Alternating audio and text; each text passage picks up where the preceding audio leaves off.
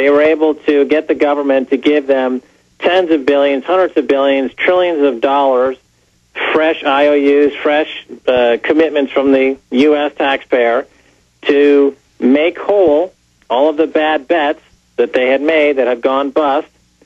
And now that And that was globally. ensconced behind the, uh, you know, with, with that bailout money, and now that they have manipulated the market over the past couple of months and booked incredible gains through accounting tricks, through manipulating the bank stocks. You know, the bank stocks, uh, when, when the um, Hank Paulson and then Geithner were threatening to implode the system unless they got that bailout money. Yeah, That back in early October. directly into the pocket of insiders and executives.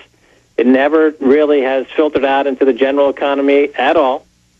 Uh, so this is the first leg. The bankers have been taken care of.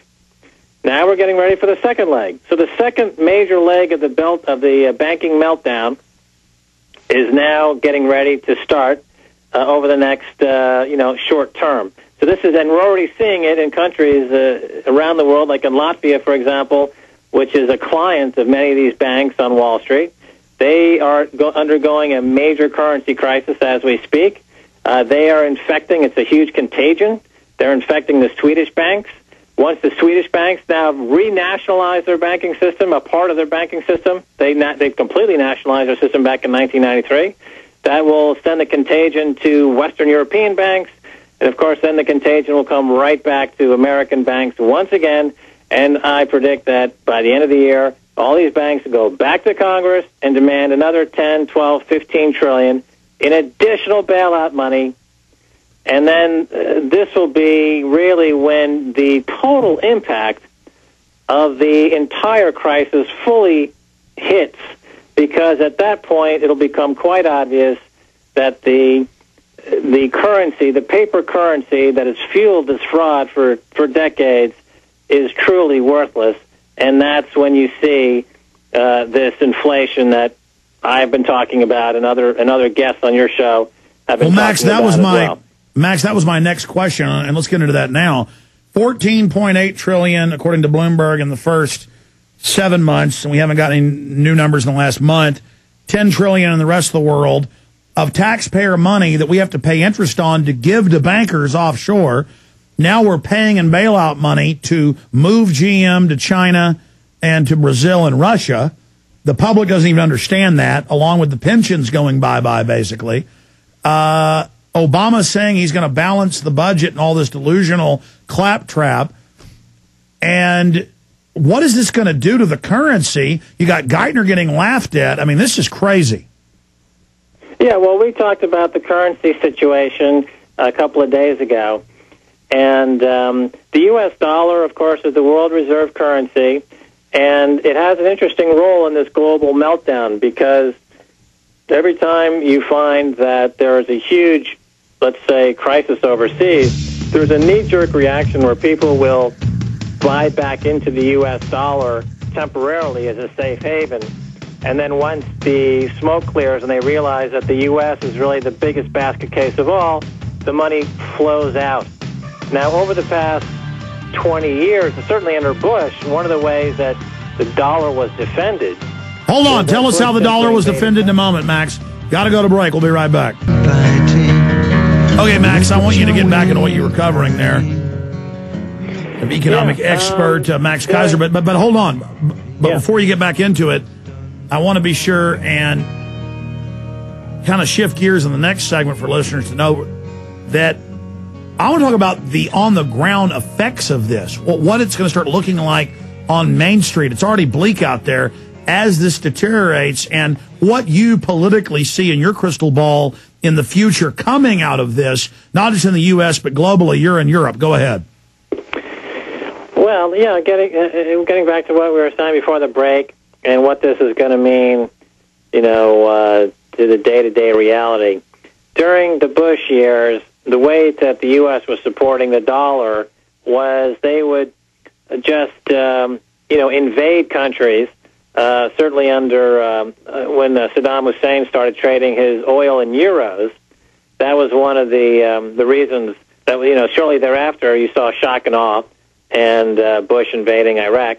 In, in Iran, uh, they also were talking about trading their oil in euros, and of course the belligerence toward Iran uh, heated up. And it was interesting that comments were made in the speech uh, this week by uh, by Obama. He mentioned that the the 1953 coup uh, in Iran was in part facilitated by America's CIA, which is something that another one of your guests, John Perkins, the economic hitman, has been talking about in, details in his book.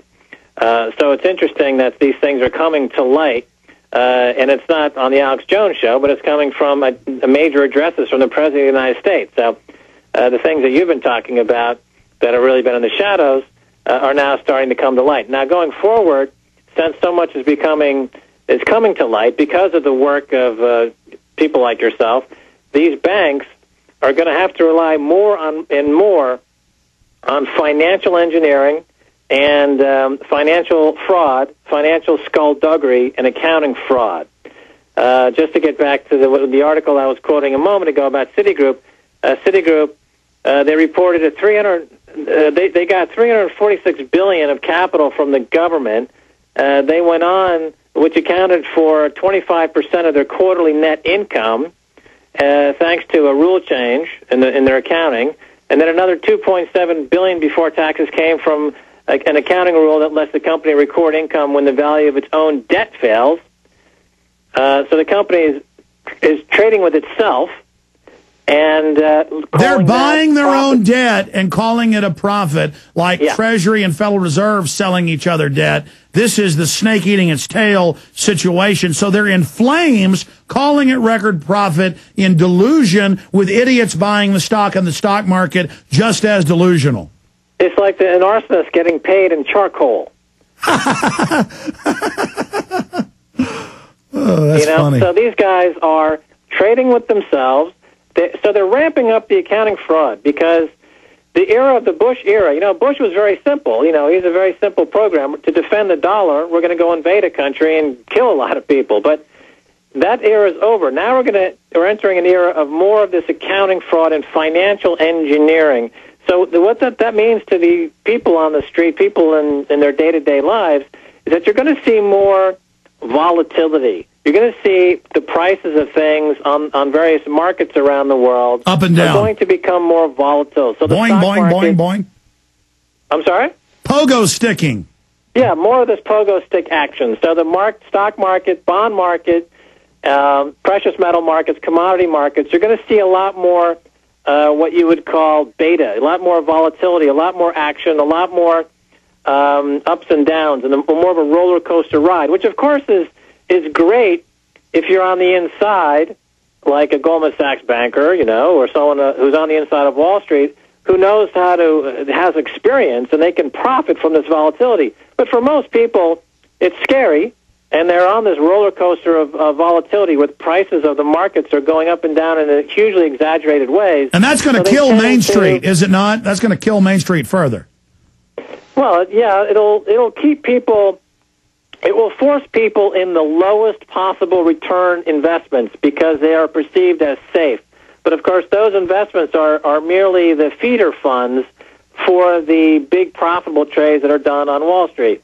So yeah, so they're going to buy government be, bonds. Quarantined, if you will. Their investments are going to be in these, uh, in, you know, making one half of one percent. Meanwhile, inflation will be raging, but they'll be so frightened to put their any capital to work in something that might benefit it from inflation, like precious metals or commodities, because the volatility will be so outrageous.